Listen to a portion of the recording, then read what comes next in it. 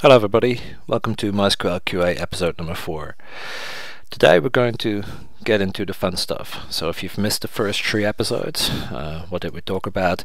In the first episode we talked all about uh, Linux, about uh, bash utilities, GNU utilities, uh, and so on. So you might want to go and have a look at that. It's about uh, three and a half hours of uh, pure scripting fun. The second episode was about how to build your MySQL server. So something that you clearly need before uh, you actually get into QA. it's uh, the MySQL as well as Percona server. It doesn't really matter. It simply shows you how to build the server and get started.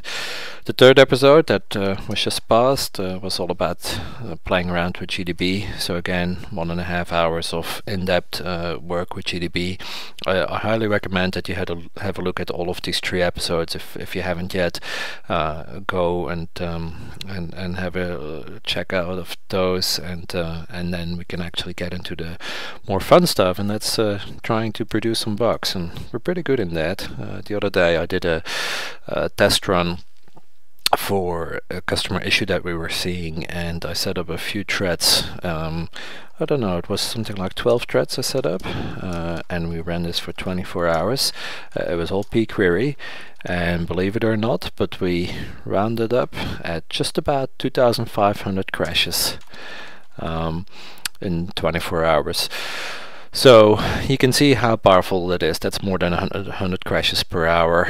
Um, of course, there are duplicates within that, but you know you get a, a good number of bugs. So let's get started with today's episode. So first we'll have a look at Percona QA. If you've been looking at the previous episodes, uh, you've seen a little bit about that already, but I'll just rehash a bit. Um, then we'll look at pQuery. What is it? What does it do? What can it do for you? What can it not do for you? Um, Actually, I have to think about what it cannot do for you. Just kidding. Okay, so then we'll have a look at Reducer, which at the moment uh, still lives in the RanGen tree. Um, it's a little bit confusing, but it's because of historical reasons. Um, and thank you big thank you to uh, the guys at uh, at Oracle for um, open sourcing reducer.sh. It's a tool uh, I wrote while I was working at uh, Oracle and uh, they've kindly open sourced it now so that the community can use it.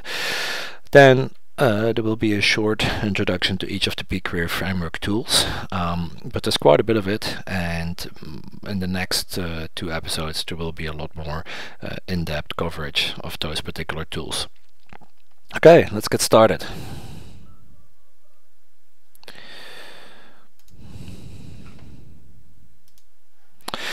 So, um, if you haven't branched Percona QA yet, uh, first of all, I recommend that you go to your home directory. Um, you can see I'm there already, but uh, if you don't know how to go to your home directory, of course it's very straightforward. Uh, cd tilde, and if you haven't installed BZR, you would uh, execute something like this, or if you're on Ubuntu or something like that, uh, you go sudo apt-get install bzr. So in my case I don't need to execute this because I've got uh, Bazaar installed already. So you can go Bazaar branch Launchpad Percona QA. So what does this do?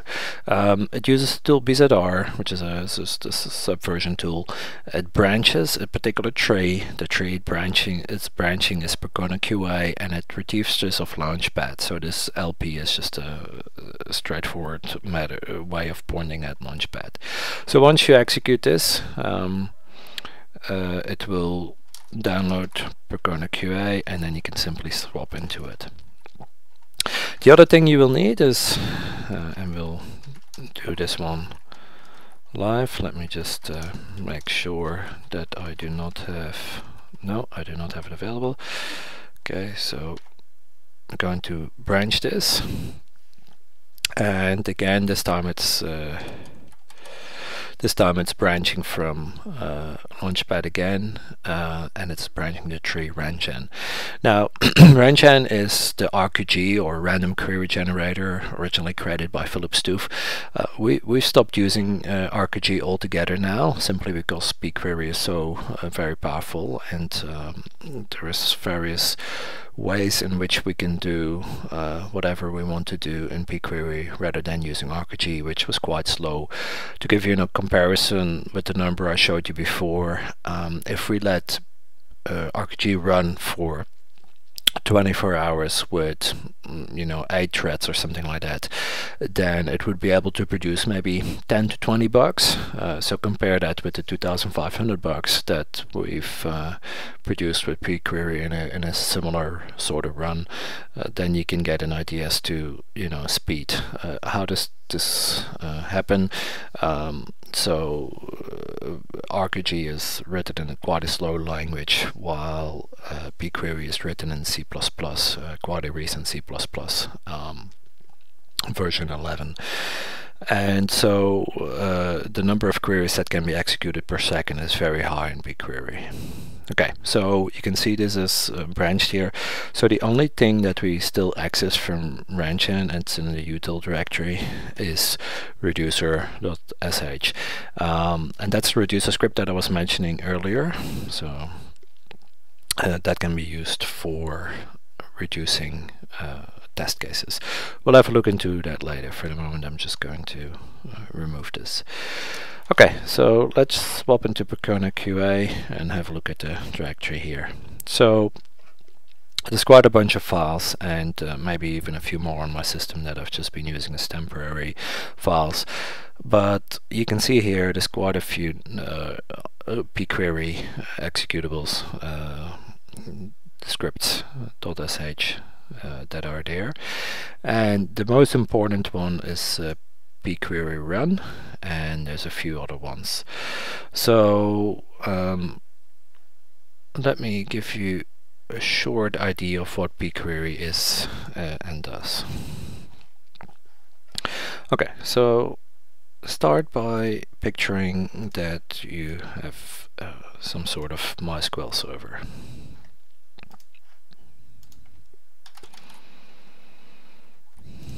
So MySQL daemon is running on some server. Now, when pQuery starts, uh, and let's just uh, picture pQuery like this, when pQuery starts, it will access um, a flat SQL text file.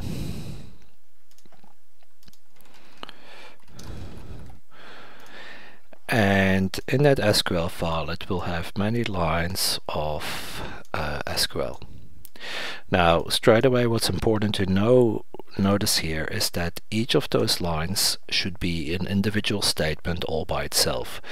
So if you have something like uh, create table t1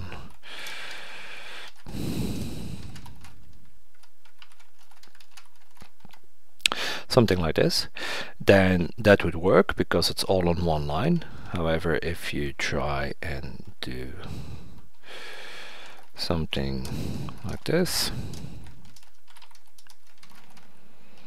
it would not work. And the reason, um, okay, that's just slightly showing incorrectly here, but you get what I mean. The reason why that wouldn't work is because um, all the statements are read in a random fashion by pQuery.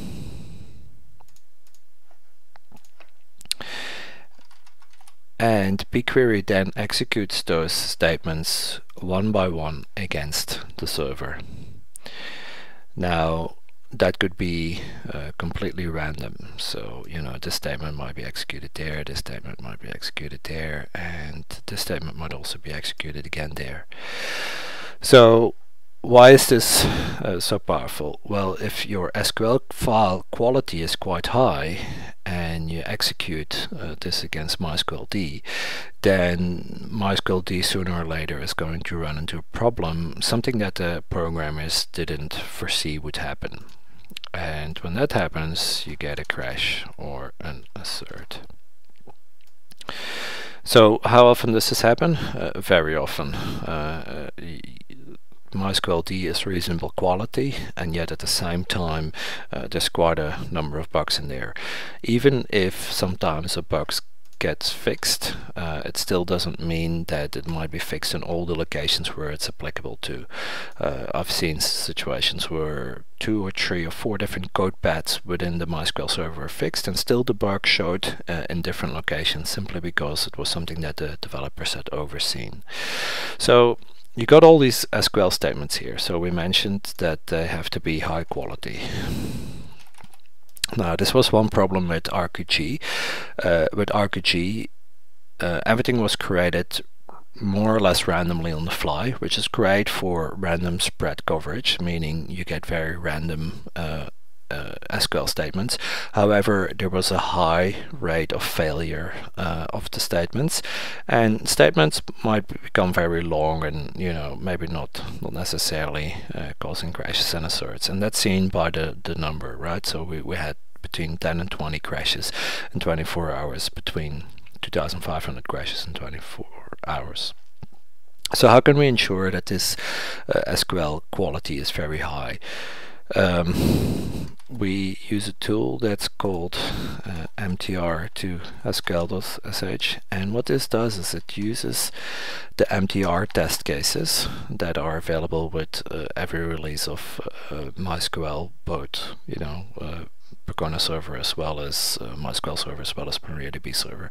So all the test cases that the developers have developed, which is already very high quality SQL, and we have assembled all of this SQL into a single file um, and we've done so for a Percona server as well as uh, MySQL server as well as MariaDB server and we've put all of that code together in one flat file and uh, then pquery will randomly take uh, information from this file and execute it, uh, SQL statements from this file and execute it against MySQL uh, we get a fairly high percentage, uh, anywhere from 10 to uh, probably 25%, sometimes it might be higher, of, of successful queries uh, and that still might not seem very high but it's probably a lot higher than what uh, RQG is doing. Okay, so that's a very uh, broad introduction. Now if we have a look you can actually see the, the tools here. So that's the tool that uh, compiles uh, MTR uh, test cases to SQL and you can see there's a fair bit there but I can go into that a bit more in one of the next episodes. Um, we've also uh, had a look at a pquery run uh, so this is the actual main pquery wrapper which sits around the pquery binary and in the pquery subdirectory um, there is pquery md, MariaDB, pquery ms, MySQL server and pquery ps Percona server. So each of these three has been compiled using their own client libraries and each of these has its own um, strengths. Uh, the way I want to put that is with um, the various versions of pQuery. Let me have a look um, at this for example.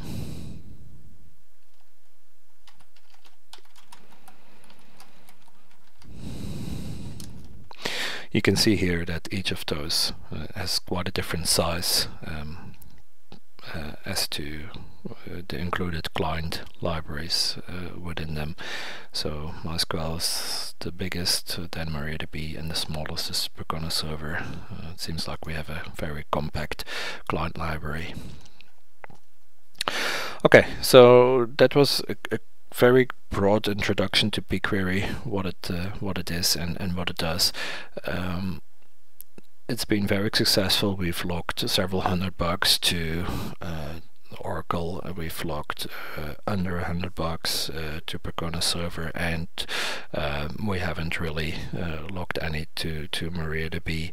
Um, it would be great if uh, if those guys could get uh, get into it too and, and tell us what what they're seeing on their end.